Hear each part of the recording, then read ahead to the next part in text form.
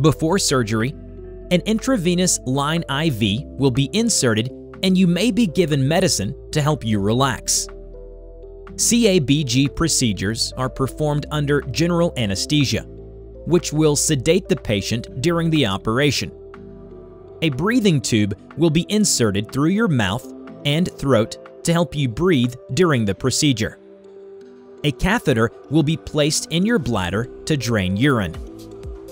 Coronary artery bypass surgery generally takes 3 to 6 hours. During a conventional CABG, the surgeon begins by making an incision in the skin over your breastbone. After that, they will separate the breastbone and move your rib cage to expose your heart.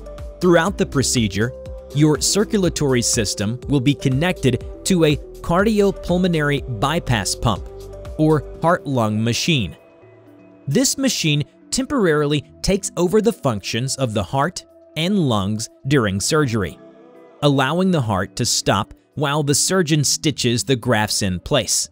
One of the two blood vessels that is typically used for grafts is the internal thoracic artery in the chest or the saphenous vein in the leg.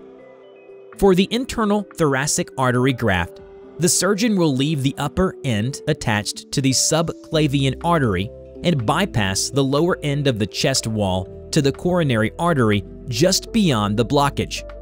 Then, the surgeon will sew the graft in place. For the saphenous vein graft, the surgeon will suture one end to the aorta and the other end to the narrowed artery just past the blockage.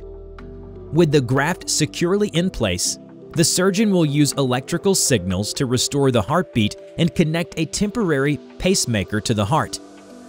Once the heart returns to a normal beat, the heart-lung bypass machine will be turned off and the surgeon will reattach the breastbone and suture the skin.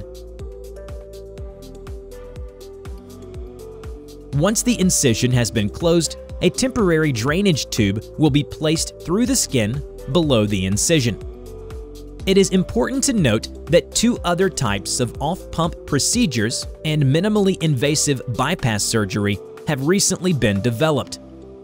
In the off-pump CABG, or beating heart bypass procedure, the heart does not stop, and a cardiopulmonary bypass machine is not used. Instead, a mechanical device called the heart stabilizer is used to stabilize the part of the heart being grafted. The surgeon will perform minimally invasive bypass procedures using instruments inserted through small incisions or ports in the chest.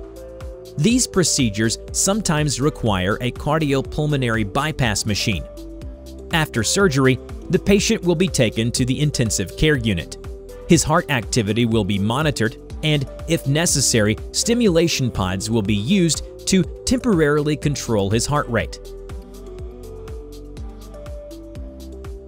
The chest tube will remain in place to drain excess blood and air from the chest cavity.